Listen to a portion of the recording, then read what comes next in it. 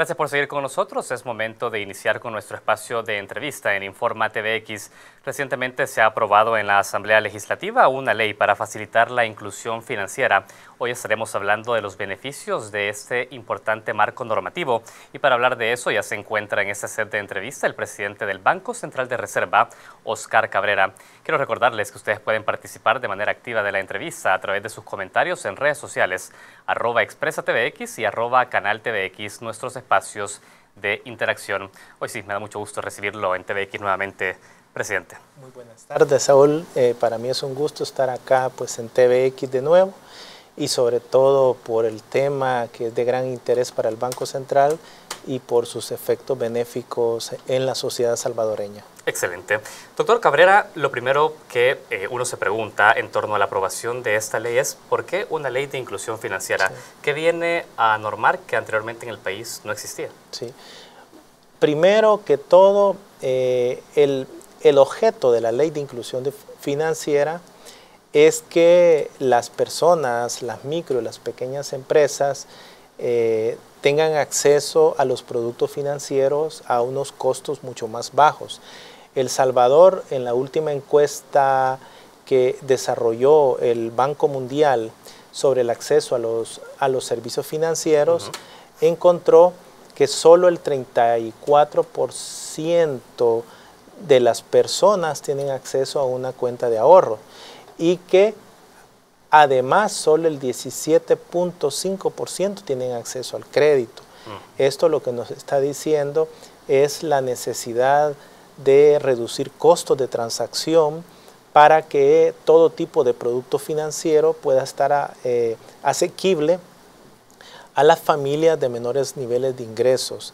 Eh, lo que nosotros pretendemos es mejorar estos indicadores, por ejemplo, llevarlos en los próximos cuatro años al, al 60 y el 70%, y con ello eh, yo creo que vamos a facilitar eh, dos, nuevos productos financieros a la población. El primer producto es las cuentas simplificadas. La gran diferencia con las cuentas de ahorro tradicionales es que las cuentas simplificadas solo van a necesitar un DUI. No va a ser necesario tener el número de identificación tributaria. A lo sumo, solo se les está exigiendo a las personas que den una declaración jurada del origen de sus ingresos, igual a las micro y pequeñas empresas. Esto es uno de los productos que es muy novedoso y que ha tenido mucho desarrollo en el caso colombiano y en el caso peruano. Excelente. Doctor, yo me pregunto algo. Eh, digamos, usted ha señalado que es un escenario excluyente el que teníamos hasta antes de la entrada en vigencia de esta ley. Pero, ¿qué fue lo que ha generado en el sistema bancario, el sistema financiero salvadoreño, que mucha población, la mayoría de ella, no pueda acceder a los servicios y a los productos financieros tradicionales? Eh, sí. digamos, ¿es por la rigidez de sus procedimientos? ¿Por qué razón? Puede ser por la excesiva tramitología que se les imponen a los hogares y a las empresas.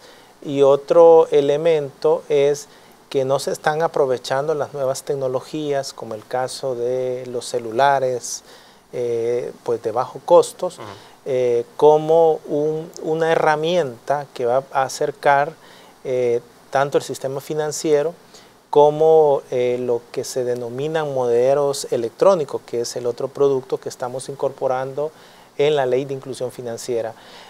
Dentro de los estudios que hemos hecho en el Banco Central, eh, nos hemos enfrentado a que hay muchas restricciones en el sistema financiero. Uno de ellos que tú citabas, otro es los elevados spread, que es la diferencia entre las tasas activas y pasivas, y otra variable que también incide sobre las micro y las pequeñas empresas es el elevado colateral. Por ejemplo, cuando una micro o pequeña empresa quiere acceder a un crédito, le están exigiendo una garantía casi del 159%. Quiero decirle a la población que esta garantía es una de las más elevadas de América Latina. Entonces, con este tipo de, productos que he citado anteriormente, tanto las personas como las microempresas van a poder utilizar su celular, eh, digamos, de baja gama, eh, como se le denomina, y ahí van a ver eh, cómo tienen su depósito, cuánto es el monto de dinero, con él van a, poder pagar cualquier bien o servicio, pueden ir a un restaurante, pueden ir al cine y, y, a través de su celular que está escrito a su cuenta de ahorro, pues paga. Otra característica es que las remesas familiares eh, automáticamente se le va a informar, se le han transferido 100 dólares por su familia, ya lo tiene usted ya sea en el producto monedero electrónico o en la cuenta simplificada. Excelente. Usted ha dicho algo muy importante. Esta ley tiene como fin precisamente poder generar servicios financieros. Eh, y de hecho la ley parte de la necesidad de desarrollar productos financieros para prestar servicios financieros a la población que no los tiene. Los considerando de esa ley señalan que lo hacen adecuándolo al nivel de ingreso y volumen de transacciones de la población usuaria de los mismos. Yo quiero hablar de eso porque al final entonces lo que se está generando con esta ley son mecanismos para que alternativos al sistema financiero para que la gran mayoría de la población pueda tener un servicio de carácter bancario de alguna manera, si se quiere ver en esos términos. Pero no son todos los servicios bancarios, entonces, lo que está contemplando la ley, solo son algunos de ellos. Eh, digamos que los anclas eh, son estos dos productos, pero esto va a facilitar a los hogares de, menor nivel de ingresos que eh, a raíz de su récord, actualmente todo lo pagan pues en efectivo, reciben en efectivo su salario, mientras que si, si una determinada persona tiene una cuenta simplificada, eh, recordemos que al mes como máximo de transacciones que va a hacer son alrededor de 1.004 dólares. Que son equivalentes a cuatro salarios. Eh, a cuatro salarios mínimos del sector comercio. sí. Eh, pero ya va a dejar un récord y las entidades financieras van a ir evaluando su historial y en función de su historial le van a diseñar créditos a la medida de sus niveles de, pues, de ingresos. También le van a dar eh, microseguros, micropensiones. Incluso eh, esto va a ayudar también a la trazabilidad de las transacciones. Por ejemplo, en el caso eh, del combate a la violencia o al renteo, dado que cada, cada cuenta simplificada está atada a un DUI y cada DUI está atado a un celular, pues obviamente si una persona, eh, por ejemplo, se le tuviera un problema ilícito que le están solicitando dinero, eh, ella transfiere ese dinero a la persona, pero automáticamente queda vinculado. queda vinculado y se sabe qué número de DUI es a la persona que le llegó esa renta. Es decir, la cuenta responde a un número de DUI y a un número de celular. Exacto. O sea, no hay manera ahí de poder otra persona hacer uso. Por ejemplo, dice, pues dame el PIN, etcétera, etcétera. Pero una vez da la vuelta, eh, esta persona, yo hablo, hablo, informo a la policía, informo a la entidad bancaria o a la compañía de seguros, eh, a la compañía proveedora pues, de dinero electrónico, y todo, todas las transacciones que hizo en el momento de la denuncia, van a ser eh, investigadas por la Policía Nacional Civil, por la Fiscalía Nacional, por la Fiscalía General de la República. Excelente, doctor. Hay un punto eh, y vamos a seguir hablando sobre la regulación para que esto no pueda derivar en un ilícito eventualmente. Eh, hay un aspecto importante porque acá ya entra la denominación del dinero electrónico. Así es. Porque las transacciones se hacen de alguna manera de forma virtual, electrónica. ¿Cómo, ¿Cómo se define esta concepción de dinero electrónico? Yo creo que es muy importante poner un ejemplo que la población conoce muy bien. Cuando uno va a algunos almacenes, eh, nos dan unos monederos electrónicos en los que uno va depositando algunos remanentes y uno, eh, la, la, gran diferencia es que solo lo puede hacer efectivo en el almacén específico. Aquí no, aquí estamos hablando de un monedero donde uno va a una tienda, a un comercio y compra 100 dólares, lo incorpora en su celular dentro de su monedero, que esto es muy importante, el monedero va a estar adscrito a un DUI eh, y eh, yo ando en el monedero una determinada cantidad pues, de dinero, pero eh, digamos yo puedo pagar bienes y servicios en todos los comercios en los cuales eh, yo pueda, eh, por ejemplo, los comercios por la fuerza de la competencia van a tener que tener un celular disponible con un monedero para que el cliente le transfiera el valor pues de, pues de una cuenta, ¿verdad? Es decir, para que yo pueda hacer una transacción en un comercio, eh, primero yo tengo que tener mi monedero instalado en el celular. Exacto. Y también el comercio tenerlo para que yo pueda hacer para, claro. de esa transacción. O viceversa, de un monedero yo puedo a una cuenta simplificada, son una de las cuestiones que estamos trabajando nosotros para ir ampliando la gama de servicios financieros. Creo que esto... Eh, ha tenido pues una gran experiencia. Hemos visto nosotros el, caso de Kenia, este caso es paradigmático. Eh, ellos optaron 100% por el uso de monederos electrónicos. Hay otras experiencias como el caso colombiano que optó en un 100% por, por el modelo bancario que sería las cuentas simplificadas. Que es el que estaríamos apostando nosotros como país. Nosotros estamos apostando por un modelo híbrido, pues tanto bancario como de monedero electrónico. Y, y esto es lo bueno. Colombia el año pasado acaba de modificar su ley y ha incorporado lo que es eh, las sociedades proveedoras de dinero electrónico. Seguiremos hablando de eso, eh, doctor Oscar Cabrera, presidente del Banco Central de Reserva. Tengo que hacer la primera pausa de la entrevista porque todavía hay algunos aspectos del dinero electrónico. Por ejemplo, eh, cómo se regula su emisión o cuánto puede circular en el mercado. Son cosas que me gustaría que me aclare al volver de la pausa. Nosotros hacemos la primera pausa de la entrevista. Está con nosotros Oscar Cabrera, presidente del Banco Central de Reserva. Hablamos de los beneficios de una ley de inclusión financiera. Ya volvemos.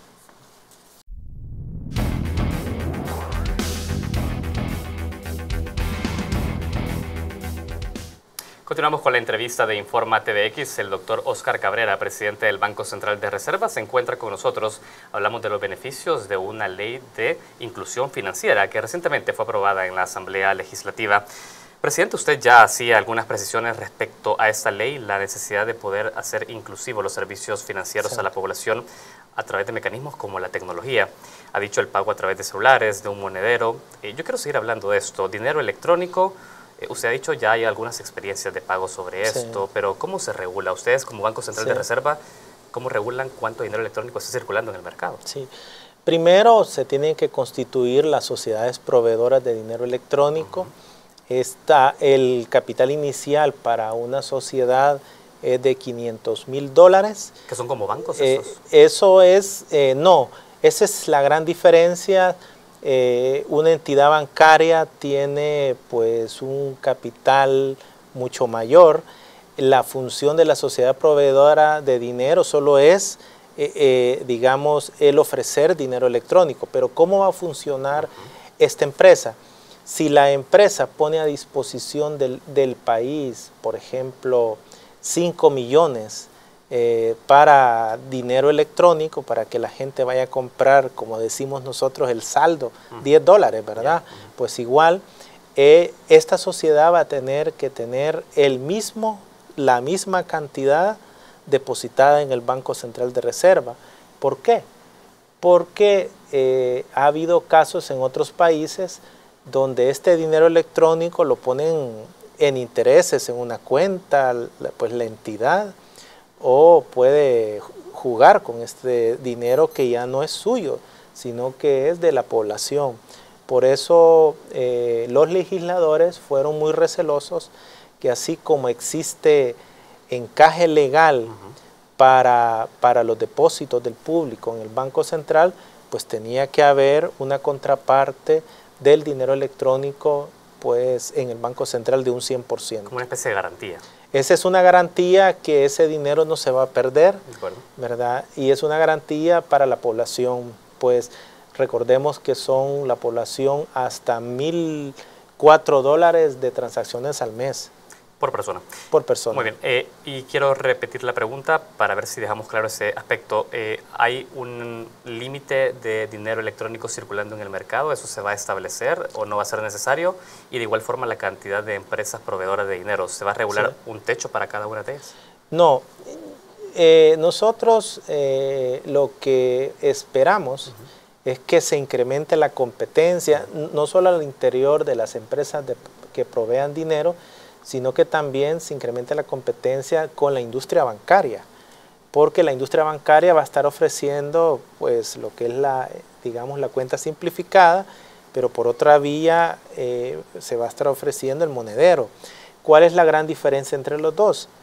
Eh, por un lado, esta cuenta simplificada eh, sí genera intereses, pues el monedero no, no genera intereses, ¿verdad? Porque recordemos que los bancos sí pueden captar depósitos las sociedades proveedoras de dinero no captan depósitos del público, simplemente están transfiriendo 10 eh, dólares por 10 dólares, ¿verdad? ¿Cómo accedo yo a dinero electrónico en mi celular? Eh, uno va a ir a, bueno, las sociedades proveedoras van a tener corresponsales financieros, por ejemplo, una tienda, un negocio en un municipio.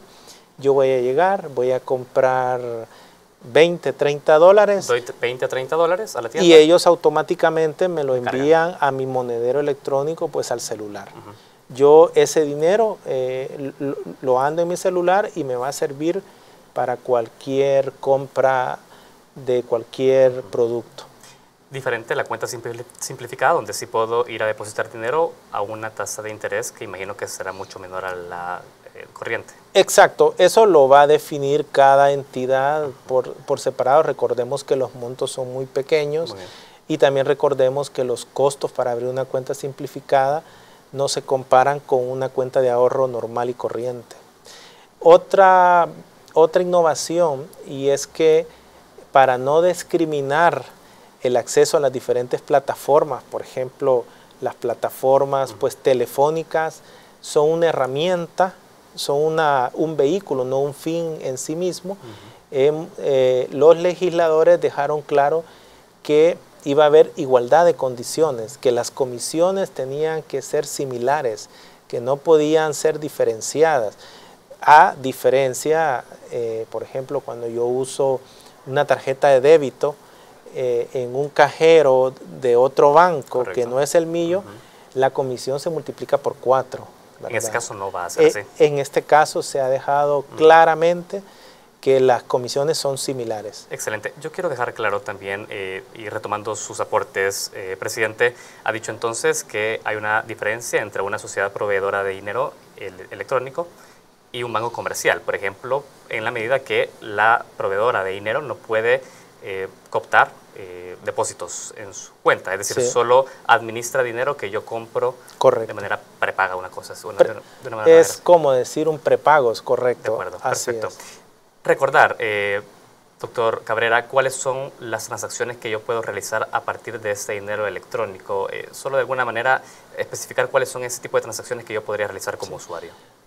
se abre una gran gama de posibilidades, desde desde ir al cine y pagar hasta comprar en un supermercado, en un mercado, en fin, esto va a depender más de la innovación del productor que tenga la capacidad, con solo disponer de un celular y una de los dos productos, se le abre eh, pues eh, unas experiencias, por un lado, el empresario eh, digamos, con, este producto, pongamos de ejemplo, tiene tres trabajadores y les paga al mes, eh, ya no va a tener que darles un cheque a sus trabajadores y los trabajadores ir a una sucursal bancaria a cambiar la totalidad, sino que el empresario, el microempresario, les va a depositar ya sea en su cuenta simplificada o en su monedero el valor del salario del mes.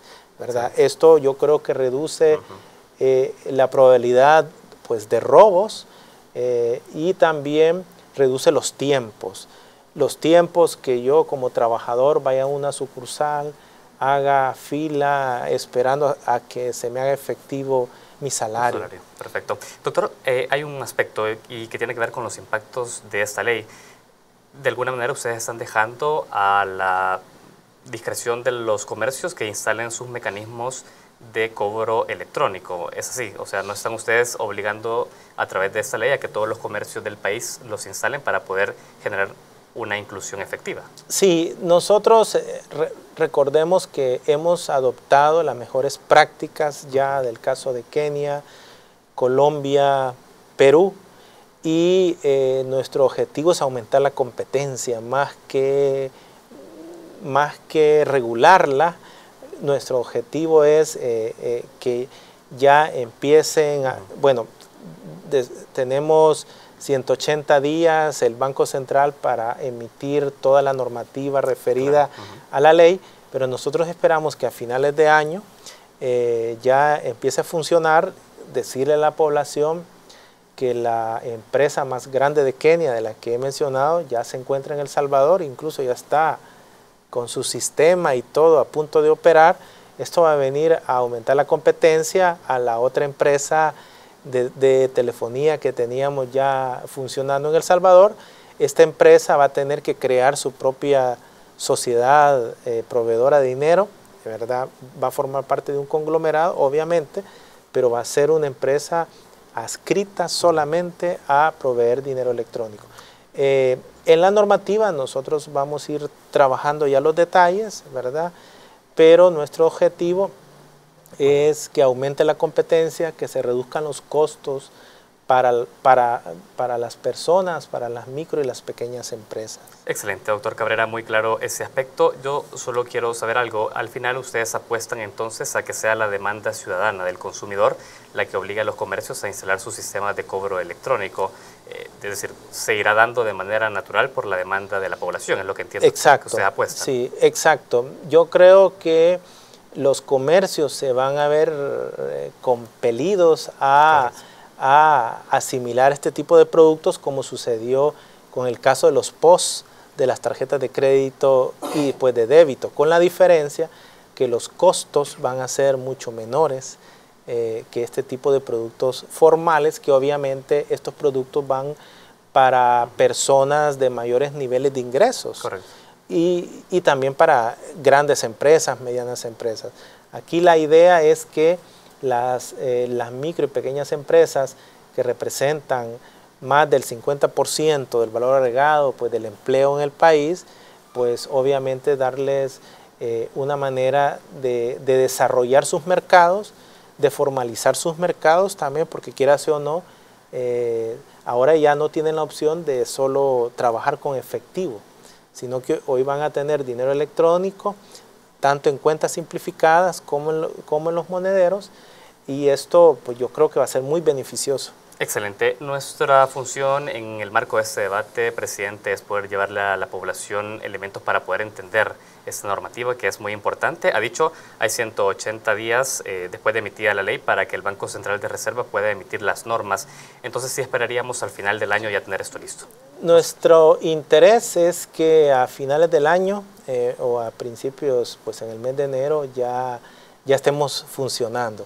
Desde ya decir a la población que ya tenemos bancos, eh, ya sociedades, que ya solo están esperando la normativa para empezar el proceso. Excelente. Oscar Cabrera, presidente del Banco Central de Reserva. Eh, a grandes rasgos hemos querido conocer un poco sobre esta ley, que es extensa. Seguiremos hablando con otros de los actores involucrados, bancos y diputados en la aprobación de la misma. Quiero agradecerle su tiempo. Muchas gracias. Para mí, pues, es un gusto estar aquí en TVX. y un saludo a la población. Excelente. Gracias a ustedes que han estado pendientes de la entrevista. Se repite a las 11 de la noche y también podrán encontrarla en nuestro canal de YouTube Expresa TVX. Hacemos una pausa y ya volvemos.